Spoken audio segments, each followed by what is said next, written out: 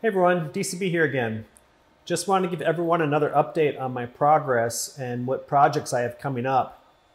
First off, I did finish off the very last batch of Mayor McCheese orders today, and they're all packed up and being shipped out this afternoon. You should expect them early next week, and thanks again everyone for your patience on those. And speaking of patience, I'm losing mine on these grimaces as I'm sure all of you who ordered them are as well. I'm having just a heck of a time trying to get these bars to cooperate. The part that I made to hold them up top worked in my prototype, but now it keeps breaking in the production piece. So I went back to the drawing board and redesigned a heftier piece for that. I'm printing out a new piece now and I'll do some more tests, but hopefully this will be the one. Um, the last thing I want are a bunch of grimaces to break in transit. So I have to make sure these are perfect.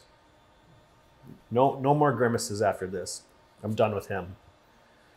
For those who don't follow me on Facebook or Instagram, here's a little update on my restoration projects I have been working on. I finished this Captain Crook, which needed a replacement telescope and a scepter ball, as well as some repaired damage and a new paint job. I also finished the giant cow head I took in this summer. I was actually kind of nervous on how I was going to even do this thing as it's quite large. I made a holder for it out of two by fours, but that didn't really work well. So luckily my neighbor felt pity on me for my feeble attempt at a stand and he lent me this heavy duty hoist thing that he had.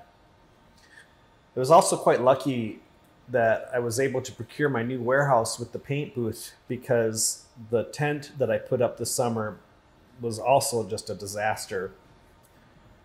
Next up in the restoration docket are the Ronald McDonald, Rooty the A&W Bear, and this Esso Tiger.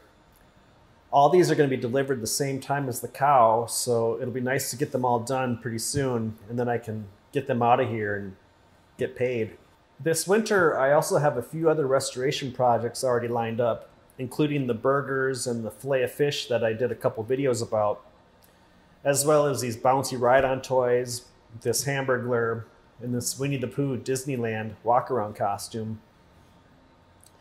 I'm taking reservations for other restorations too, so if you have something you'd like me to work on, just let me know. I have a couple other McDonald's miniatures in the works as well that I should be introducing shortly too. Um, hopefully they won't be as painful as the Grimace or the Officer Big Macs, but they should be pretty cool. I think you'll like them. And I may be collaborating with someone else um, to bring you another McDonald's fun project, but more on that later. In addition to all this, as if that wasn't enough, I'm also working on a video documentary of sorts about the history of Jak Pak grocery store toys. Uh, that should be pretty interesting, at least for me anyway. Oh, I also put up a TeePublic page with a bunch of random designs that I like. Uh, you may like them too. Um, I try to add a new design to it every day, so go check it out. Uh, link in the description. So that's about all for now. Thanks, everyone. Thanks, everyone, for watching. Be sure to subscribe and follow us on Instagram at Sugar Underbar Frosted or Dustin Crops Boy. Darn, that's the end.